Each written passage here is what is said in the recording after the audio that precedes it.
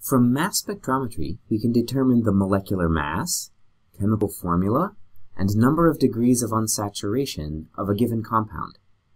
But as you saw in your first problem set, this doesn't tell us very much about how the component atoms are connected to each other. We need other techniques to tell us more about the structure of an unknown compound. Infrared or IR spectroscopy gives us insight into the types of bonds present or absent in a particular compound. From this, it can indicate whether particular functional groups are or are not in a compound. So how does it work? Every bond in a molecule can be thought of as two weights, the bonded nuclei, connected by a spring. Because molecules have kinetic energy, those bonds vibrate or oscillate back and forth. Lucky for us chemists, these vibrations can be modeled mathematically by Hooke's law, which says that the frequency of a bond vibration depends on two key factors.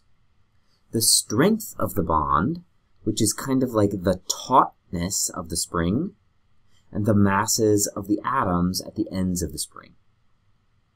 The equation that chemists use to describe this dependency is this, where nu with a tilde is the frequency of a bond vibration in units of wave numbers or inverse centimeters. c is the speed of light. K is, the, is called the bond force constant and is a measure of bond strength. And M1 and M2 are the masses of the atoms. From this equation, we can see that stronger bonds, which have larger bond force constants, give rise to higher frequency vibrations. So in general, we expect triple bonds to vibrate with higher frequency than double bonds, which vibrate with higher frequency than single bonds, all other things being equal. So for example, a CN triple bond has a higher frequency vibration than a CN double bond, which has a higher frequency vibration than a CN single bond. We can also see from this equation that the masses of the bonded atoms influence the frequency. Since the product M1 times M2 is larger than the sum of M1 and M M2, this is an inverse dependence. Heavier atoms will give rise to lower frequency vibrations, and lighter atoms will give rise to higher frequency vibrations.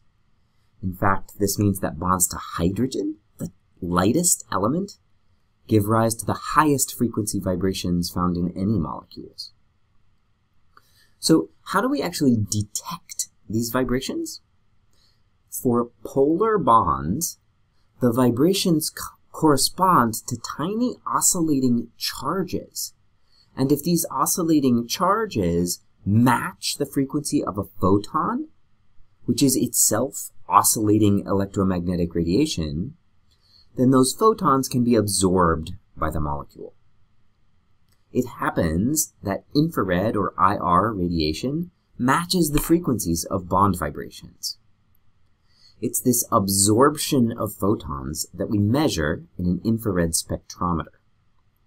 In the simplest sort of spectrometers, infrared light of all frequencies is filtered by a device called a monochromator, isolating a beam of photons with a particular frequency. This beam passes through a sample of the compound being analyzed, and if a bond that matches the vibrational frequency of the light is present, some of the light is absorbed. That decrease in light intensity is measured by the detector.